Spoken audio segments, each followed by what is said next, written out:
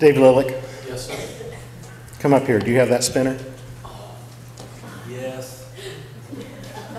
I got a box of them. So that's great. So, you know, I haven't done this in a while. This one. Is it this way? It's okay, it's your show. No, no, stay right there. I'm going to give it back to you, but you just, it look therapeutic. It is.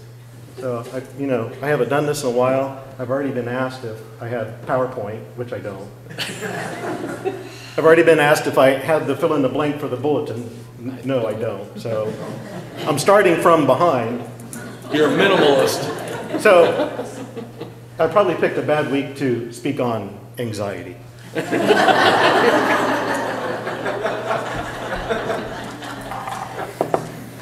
But thank you for the therapy, Dave. I, hope it's helping you. It was.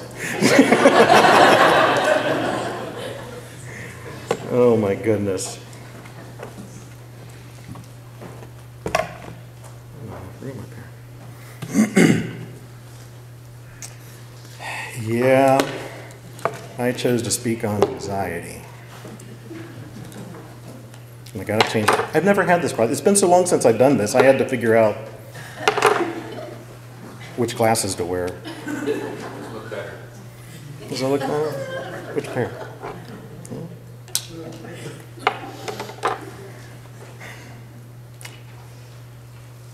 Yeah, it, it, it is something that the Lord has laid on my heart. Um, it, it's been an evolution of thought and, and contemplation and, and thinking about the role that anxiety plays in our lives. And, you know, if you look at it from a numbers perspective, uh, anxiety disorders are the most common mental illness in the United States. And according to uh, an organization that studies such things, Anxiety and Depression Association of America, 40 million Americans over the age of 18 suffer with some type of anxiety disorder. And if you start to roll that back even further, that's roughly about 18% of the nation's population. And you can break that down further. There's different types of anxiety disorders, but by and large, when you start looking at numbers like this, the, the statistics behind it show that anxiety has become the number one mental health issue in, in North America. And it's estimated that one third of the North American adult population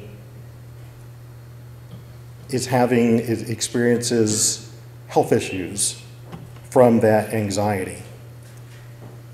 And, you know, the studies show, and I'm sure we're all pretty familiar with the fact that anxiety impacts our body's ability to heal, it impedes our ability to learn, it limits our effectiveness in the jobs, and it impacts our ability to care for our families.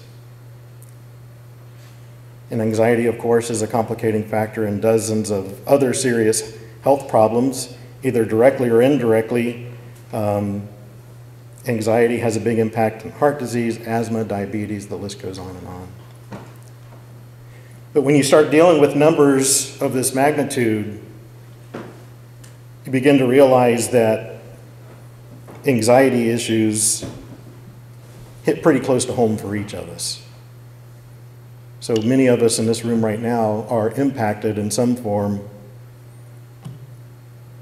from anxiety. And Christians are obviously not immune to this plague of the modern world. I think, in fact, too many of us live with anxiety and treat it just like a normal part of our lives.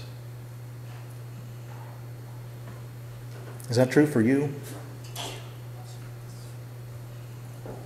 It makes you stop and, and genuinely consider the impact that anxiety has in every part of your day to day life. What is the impact of that anxiety in your home, in your workplace, or even in your ministry? You and I are beings created by God's careful and deliberate design. And through the power of the Holy Spirit, we have the means to achieve our God designed potential. And that concept of God's design, that careful and deliberate design, is a theme that I want you to keep in the back of your head as we go through this. Because anxiety, at least in the form that we're talking, was never a part of God's design for who we are. So if anxiety seems like a normal part of your life, if you leave here today with nothing else, please know that anxiety was never a part of God's design for your life.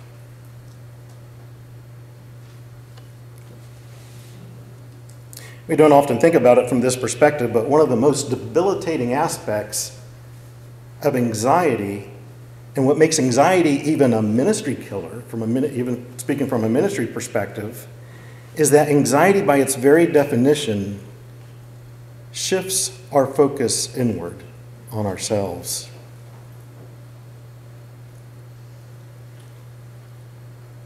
We become obsessively and almost exclusively introspective when we are plagued with issues of anxiety. And it's this incessant inward focus that robs of the others in our life of the attention, love, and ministry that they deserve. So, we talked about a definition of anxiety. And I really had to kind of assemble one. but the, the, the definition of anxiety is the cumulative effects and behaviors associated with worry, nervousness, and stress an individual feels regarding an anticipated event or a pending outcome that will potentially negatively impact the individual. So you're just worried about stuff, is the bottom line. You're thinking, you're anticipating, and worried about that negative outcome, whatever it is. And we could certainly talk through a myriad of examples but I think you have a pretty good handle on what that feels like and what that looks like in your life. I mean, and you know, the synonyms that go along with this are worry, stress, apprehension, uneasiness, um, all of those lovely types of things.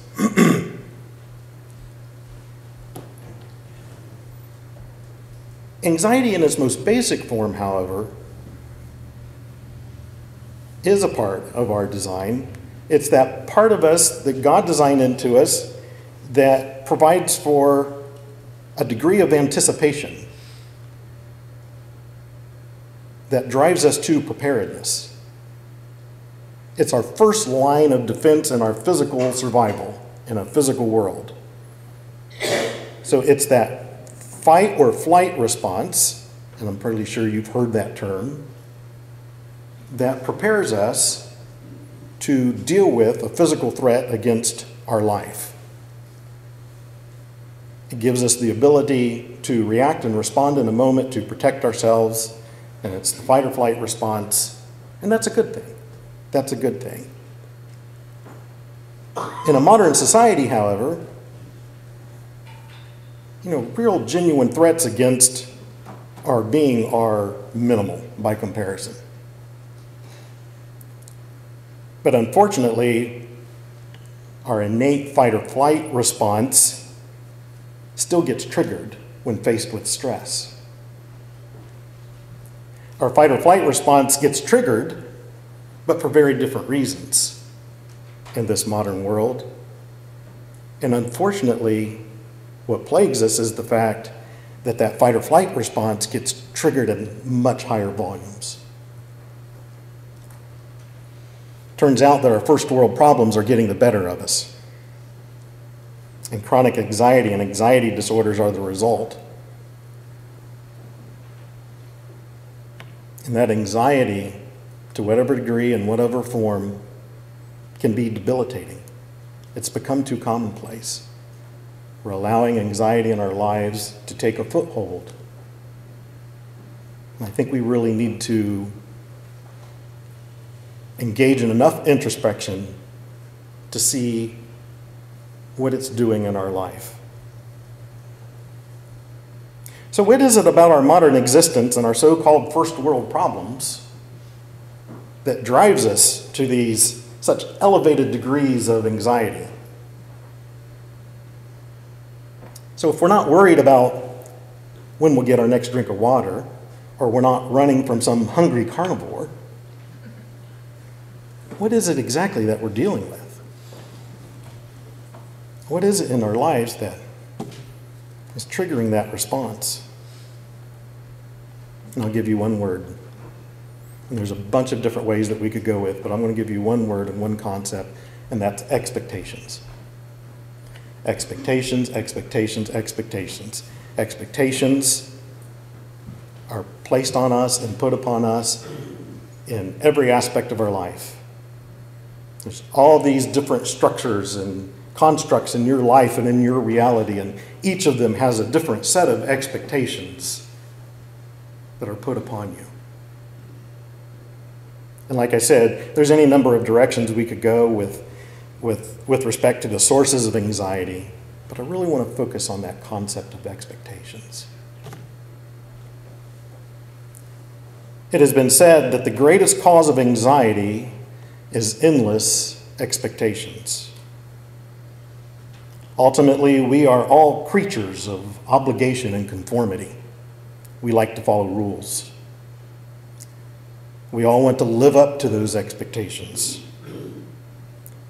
We all want to live up to the expectations of our parents, of our teachers, of our jobs, our families, and even our church. The thought of not living up to those expectations at any level, I think for many of us, conjures up images of spectacular failure that will no doubt lead to certain doom and eternal disrepute. the fear of losing a job, the fear of getting kicked out of college, or the fear of that disapproving look from your teenage daughter. All these things become frightening, unthinkable outcomes that drives our anxiety.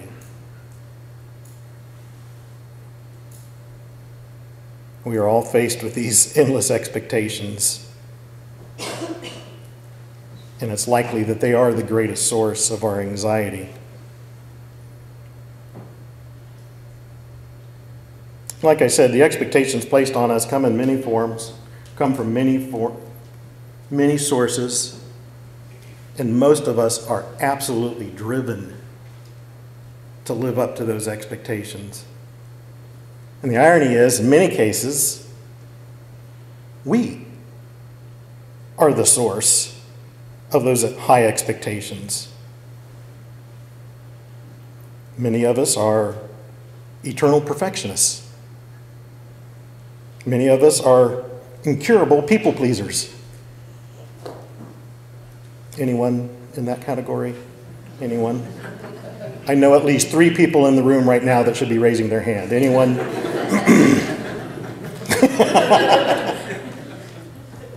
you weren't one of the three, but I'll take it.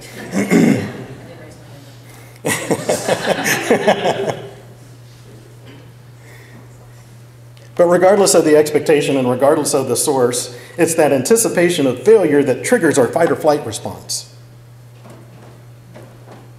That fight or flight response is triggered in our bodies, and our bodies can't distinguish between a failing grade on a final exam or the threat of a hungry carnivore. Just doesn't know the difference. The difference for us in modern context is that that anxiety that we have is typically left unresolved.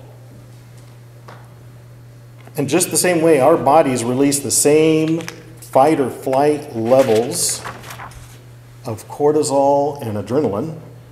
That's that fight or flight response. But we typically don't get to respond in the intense physical ways that our bodies are prepared for.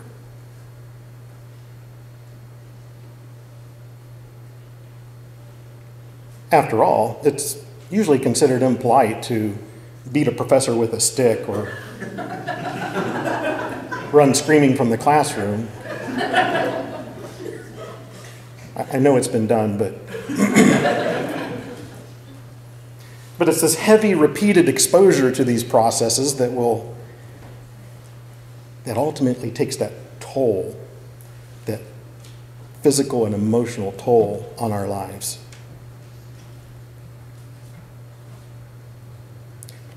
So I want to shift gears on this topic. And I want us to see that God cares about this issue in your life. God cares about the anxiety in your life. And He addresses it head on in His Word. And I say it this way because I suspect many of us all tend to want to own our anxiety. We want to own it and we want to keep it to ourselves. It's private, it's personal, and we want to own it. We want to keep it. And part of that owning it and it keep it is because, hey, as, as believers, we've been trained to be responsible, to take accountability for our actions.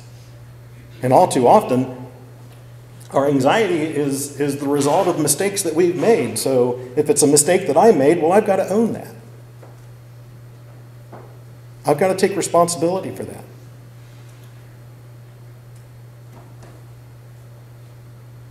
We feel that it's our burden and not God's, and so we keep it close hold.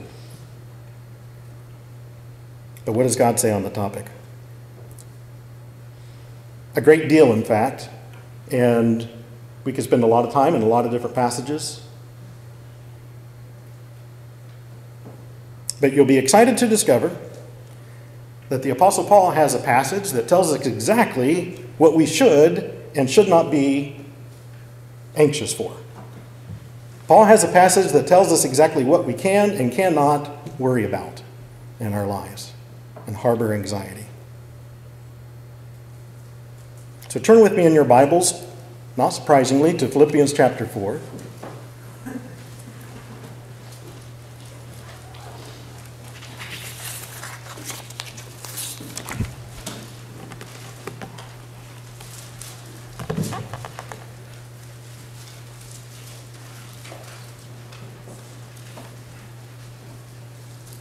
Philippians chapter 4 and verse 4 Rejoice in the Lord always. And again, I will say rejoice. Let your gentleness be known to all men. The Lord is at hand. Be anxious for nothing, but in everything by prayer and supplication with thanksgiving, let your requests be made known unto God. Verse 6 is Paul's treatise on the topic. Be anxious for nothing. Well, that can't be nothing, right? nothing surely doesn't mean nothing. So, so, so, Paul in the passage, and if you'll indulge my deliberately obtuse sense of humor here, must be introducing a new category of things that we should, should worry about. We'll call it the nothing category. So there must be something in the category. Be anxious for nothing. So we'll have to figure out what's in this category of things that we can worry about. And so first we'll turn to the source of all biblical truth, behind all biblical truth, and look at the Greek. and in the Greek, the word translated in most of your translations is either anxious or careful, is the word medais. The etymology of the word is compound in nature and basically says not one thing.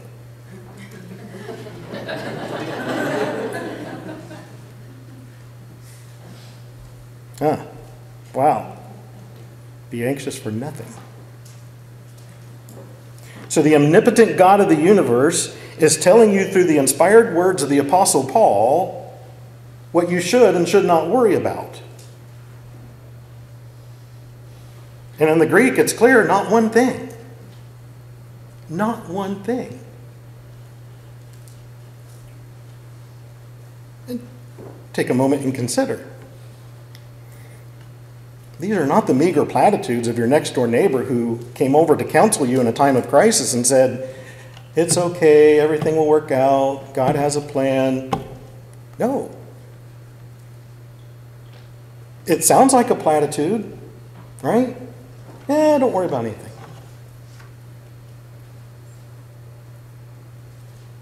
This is the omnipotent, omniscient God of the universe saying this to you. So, if you believe that the words here belong to the inerrant, infallible Word of God written to us, about us, in this dispensation of grace, if you believe that this is God's Word, be careful. Be careful that you're not guilty of ignoring or dismissing the words here in the passage as just another platitude. And trust me, I get it. It sounds like a platitude. Sorry. So out of practice.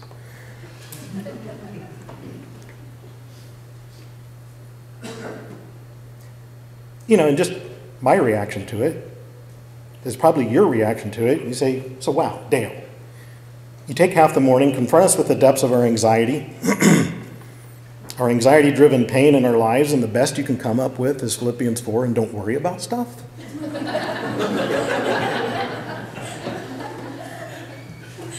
yep, cue the music, sermon over. I'll be shaking hands in the back, go and worry no more.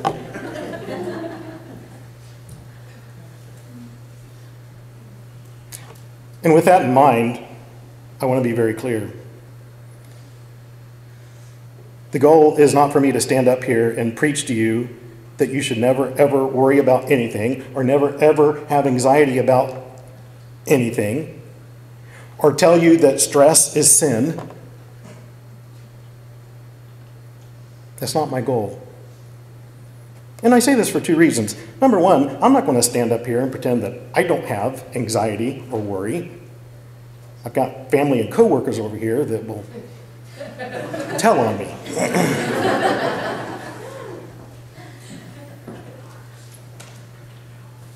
Number two is I know that many of you will take this message to heart and you'll start worrying about the fact that you worry too much.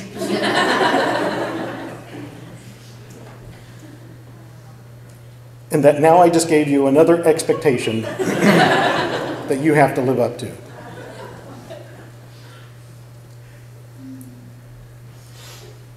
The goal this morning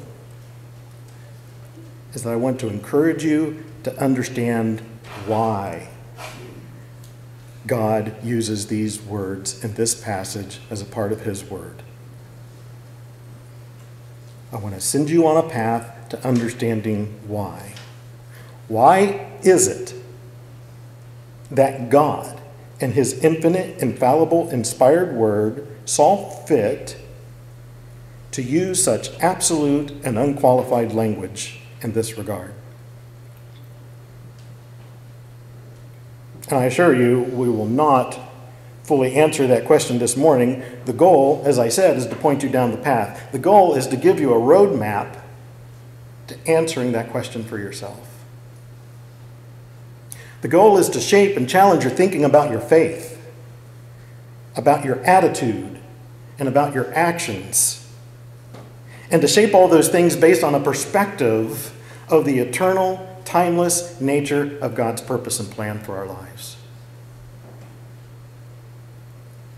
The journey to understanding why God gives us this worry free imperative. I like that, the worry free imperative. is the journey to faith. It's the journey to genuine trust, to genuine peace, to genuine joy. All things that God intended for us and designed for us. Design, design, design.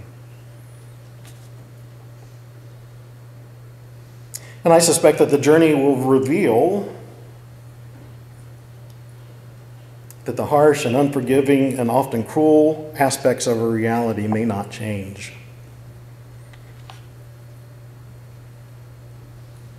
Those things won't change. but we will.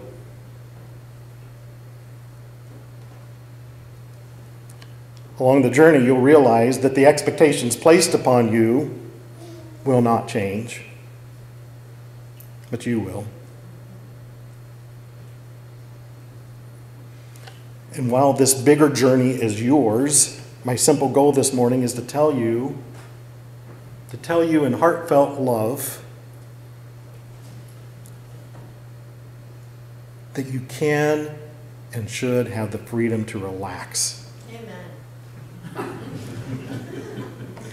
That you can and should have the freedom to relax in your faith, in your Christian walk. The last source of our anxiety, the last source of high expectations, and all these different things should be our faith.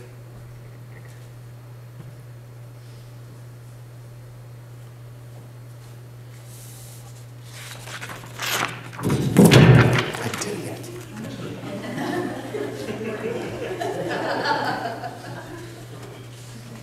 Should have gone with the lapel mic. uh. It is. It, this is this is really on my heart. I, I want you to know. I want you to start thinking about it in those terms. That you can and should relax. It's okay. It's more than okay. God wants you. God's commanded you. God's designed you to relax and rest in Him and have no worries and no anxiety. I say those words, it's hard for me to comprehend them, but they're here, and so I trust them and I believe them first.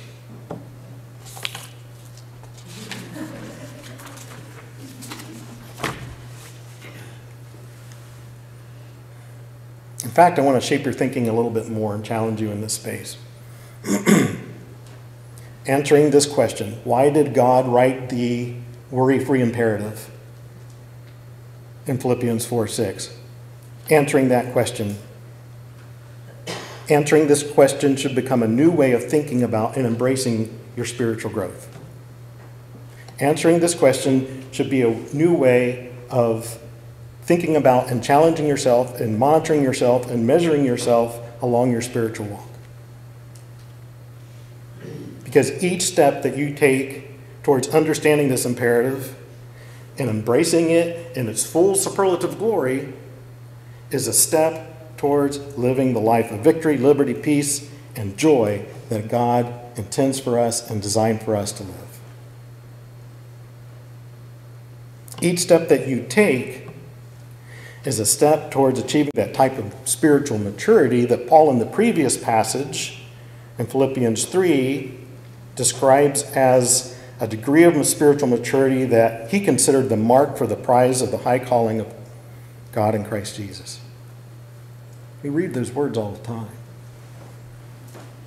You look at them in context and think about them, man, this is where we should end up. There's a reason why God said this to us.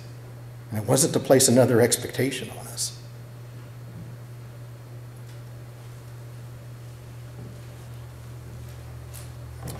And growing from this and, and embracing this journey in this form, I think what you'll find is that your ability to manage and overcome anxiety and stress in your life is your capacity to properly interpret the events of your life in the light of God's eternal and timeless grace and love for us.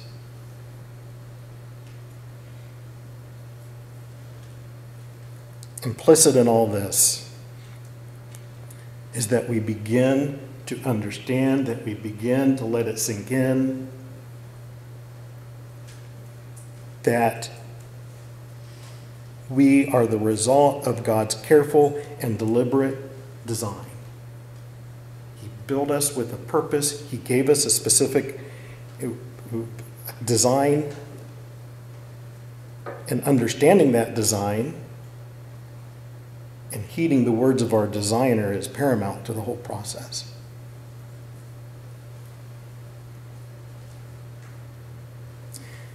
As you embark on this journey and figuring out why God gives us this imperative, you should know that the verses that follow in our Philippians 4 passage provide a roadmap for that journey. And I went, as you read these words and we kind of uh, deconstruct this a little bit in Philippians chapter 4, I want you to keep in mind that He designed us. And that God knows what's best for us. So look in your Bibles um, back at the passage in verse 6. Be anxious for nothing, but in everything by prayer and supplication with thanksgiving, let your requests be made known unto God. Now, just as we discovered with nothing, we have another superlative in the form of everything. Paul, in his inspired words, tells us be careful for nothing, but in everything. So it's the same unqualified type of assertion. But in everything, by prayer and supplication with thanksgiving, let your requests be made known unto God. So in this end state, we're exchanging one thing for another, right? Anxiety, worry, stress for prayer, supplication, thanksgiving. And with that type of superlative use of the language here, I think the practical outcome for us is that when we pray, that when we go to God and we talk to God, we don't have to filter. Everything. Everything. Pray about everything. And I know that there's,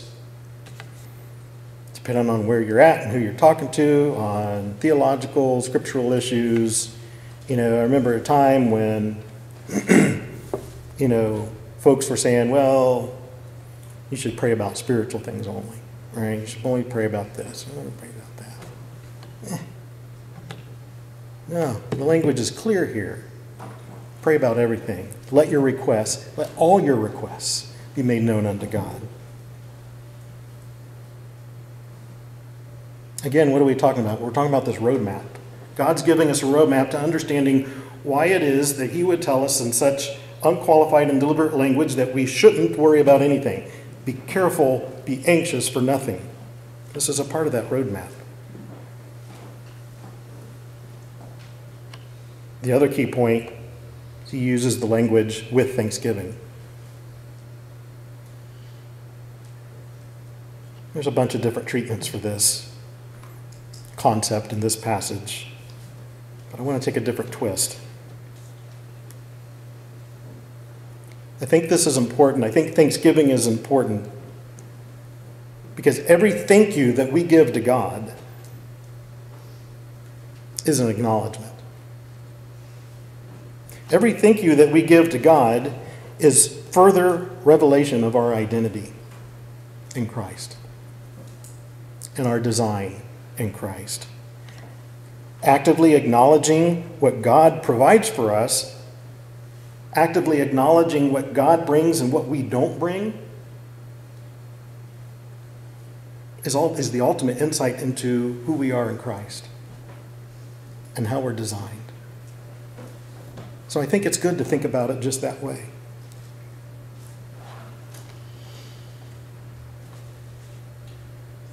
Verse 7 And the peace of God, which passes all understanding, shall keep your hearts and minds through Christ Jesus.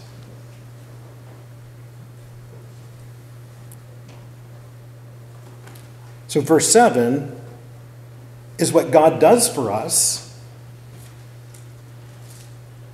when we trust and understand and follow through with the instructions given to us in verse 6.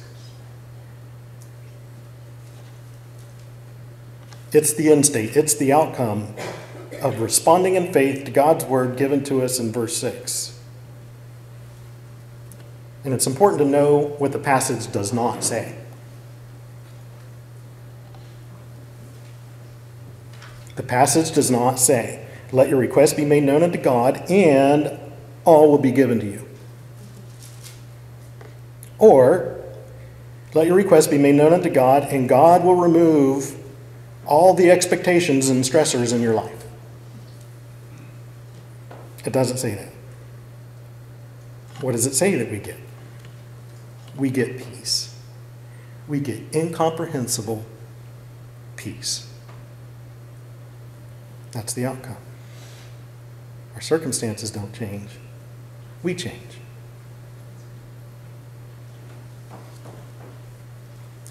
And it's the kind of peace that, in context of the passage, that literally protects our hearts and our minds. Right? That's what it says.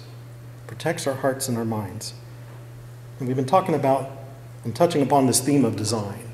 So you and I are the result of God's careful and deliberate design. He created us in His own image. And being created in God's own image, we are tre- created as a trichotomy. Just as God is a trinity, God the Father, Son, and the Holy Spirit, we are mind, body, and soul. It's the essentials of our spiritual anatomy. And so, what the passage tells us is that he's protecting, that we have this peace that literally protects our hearts and minds.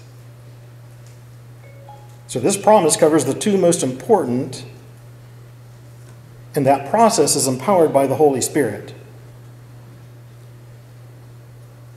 So, He designed us, He understands how we're built, and like the master physician, He's giving us a prescription for sustaining us and giving us true peace.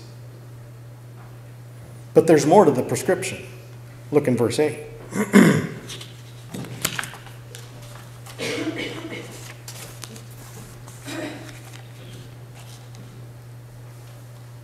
Finally, brethren, whatsoever things are true, whatsoever things are honest, whatsoever things are just, whatsoever things are pure, whatsoever things are lovely, whatsoever things are of good report, if there be any virtue, if there be any praise, think on these things. To me, this is fascinating. To me, this is just the height and the pinnacle of what God's trying to teach us in Philippians, what God's trying to address in us. And look, I'm just going to come out and say this. Paul's instructions here, the verse 8 instructions here, constitute nothing short of a treatise on the power of positive thinking. Right? And I'm not advocating for some fluffy PMA type of philosophy or anything like that. But the words here are clear. And the message, again, represents another components of God's prescription for believers in their journey to finding freedom from anxiety and truly embracing God's grace and, and the peace that that brings.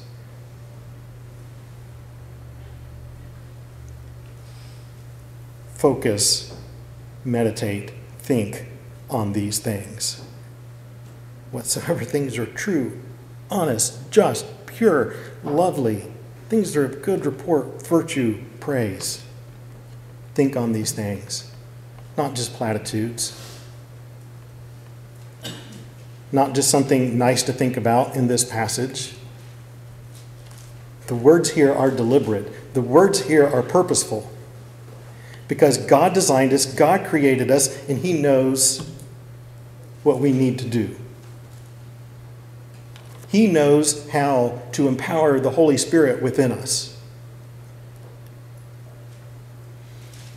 And if you look at the verb in the passage, think on these things, the think in terms of our spiritual anatomy and our overall design goes to that mind.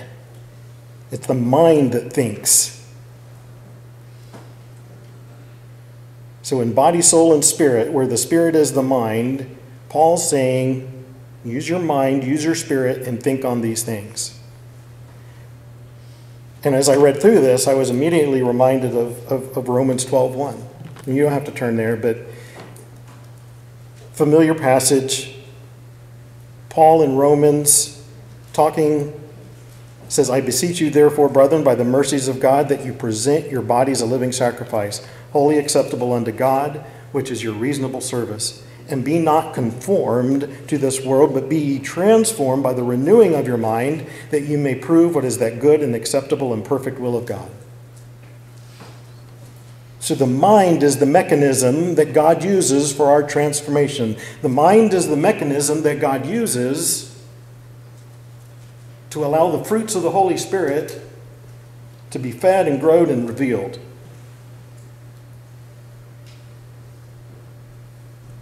And so when Paul in Philippians 4 8 says, Think on these things, and he gives us this list of positive things, he did it for a reason. You may not have to fully understand it, you just have to believe it and trust it.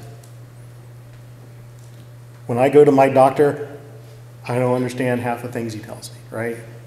I- The whys. I just know, okay, I want to take that blue pill in the morning, I'm going to take the green pill at night, right? because I trust him. I may not understand what those pills do or why exercise helps blood pressure. I don't understand it, but I trust it because he knows more than me. And so I do what he says. And that's the purpose here. Do what he says. It's a prescription, it's a roadmap.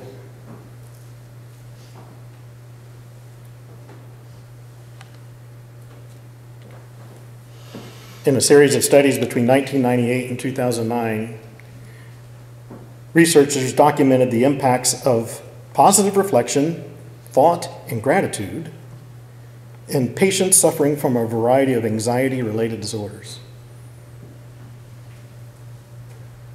The results were remarkable. The results were in line with what God, through the words of the Apostle Paul, are telling us here. These studies were done absent any biblical worldview, but effectively aligned with the conclusions here. And there's, if, you want to do the research and you want to do the study, there's proof that the positive reflection, and specifically, what I found most interesting was the aspect of gratitude with thanksgiving, at the impact that that has on the human brain. It physically changes the human brain. Interesting stuff, but ultimately a matter of faith.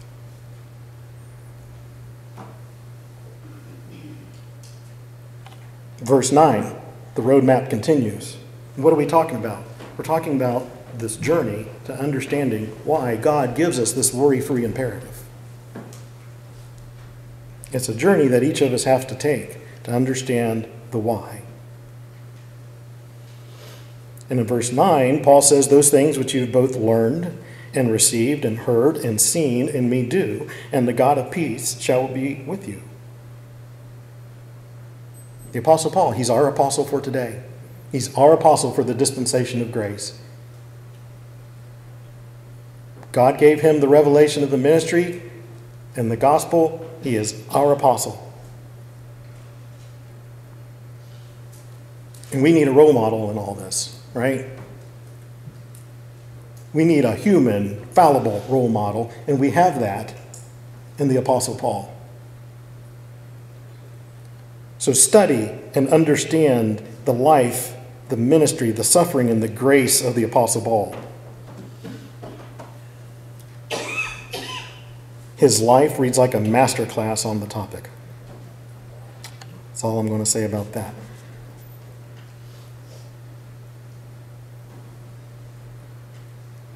Paul goes on and he addresses the um, Philippians specifically for the ministry that they had done for him.